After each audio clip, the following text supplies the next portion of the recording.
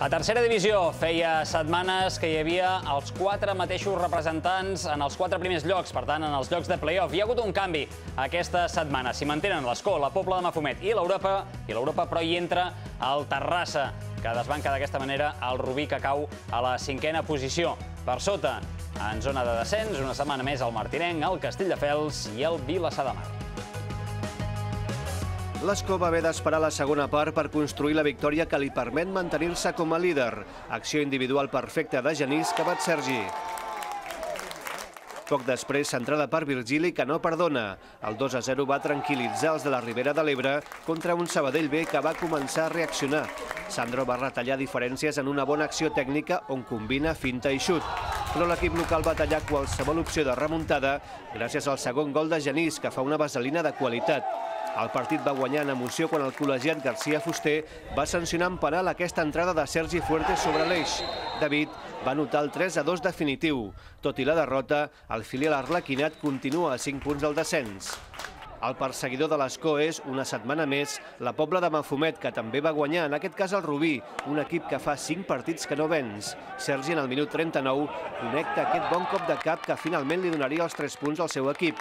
Aquest mateix jugador va poder ampliar l'avantatge, però no va precisar davant el porter local Bullo. Tres quarts del mateix li va passar poc després a Abel Rita. El Rubí està de pega i es va demostrar en aquesta acció. Penal sobre Àlex Pla que Ferran Vila desaprofita. Gran intervenció de Baro. La Pobla va tenir l'opció de fer el segon en aquest contraatac, però Coc no va apuntar bé. El Rubí cau de la zona de promoció per culpa d'aquesta derrota. L'Europa, en canvi, es manté tercer, tot i l'empat a casa contra el Prat, un dels aspirants a entrar entre els quatre primers. El maig va ser trebadíssim i els massatgistes van haver de treballar de valent. Cops per a tots els gustos, dolor per donar i per vendre i fins i tot picabaralles que acabarien amb targetes a banda i banda. Pel que fa a les ocasions ben repartides. El Prat va avisar la primera part, Charlie va tenir aquesta i Molina aquesta altra. A la segona part, Javi Sánchez va respondre per part de l'Europa.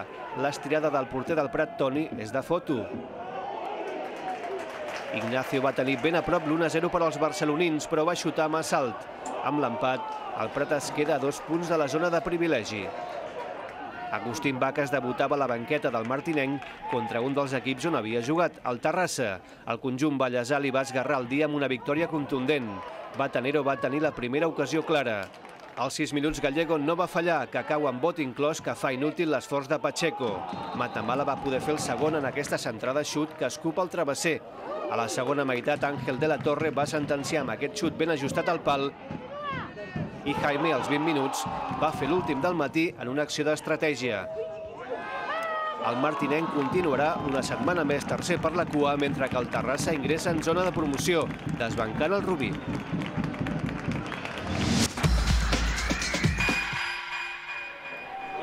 La muntanyesa continua invicta a Nou Barris, on aquesta vegada va haver de suar per salvar un punt davant del Vilafranca. Tot i el gol inicial de Pedro, al minut 3 el conjunt vilafranquí volia trencar la ratxa que l'ha dut a no guanyar com a visitant des del mes de novembre. Font, abans del descans, i el Barran amb una centrada que va sorprendre Tato Burgada, van capgirar la truita.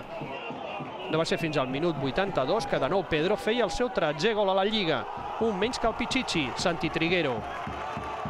També suma 13 gols al davanter del Manlleu, Manel Sala. Una errada del porter del Figueres Orenya ja va deixar entreveure que no era el millor dia per als empordanesos. Encara a la primera part, Pol Coll va fer el segon i va ser la segona part quan els usonencs van completar la golejada. Mai Molist i de nou Manel Sala van sentenciar la tercera victòria consecutiva d'un Manlleu que respira davant d'un Figueres que queda 5 punts del play-off. També hi havia un duel empordanès en aquesta jornada. El Palamós es va avançar al camp del Paralada amb aquest gol de Cristian del Moral, però els locals van igualar just abans del descans. L'àrbitre va veure penal en la caiguda de l'Eix Feixes i ell mateix el va transformar.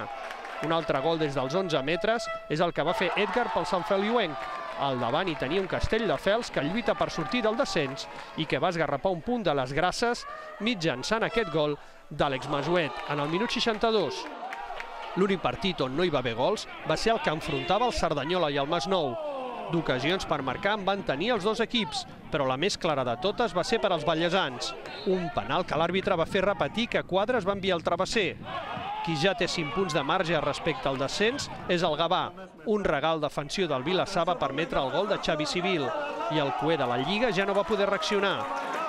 Ho va impedir aquest gol anul·lat per fora de joc i les expulsions d'Adan i Josué.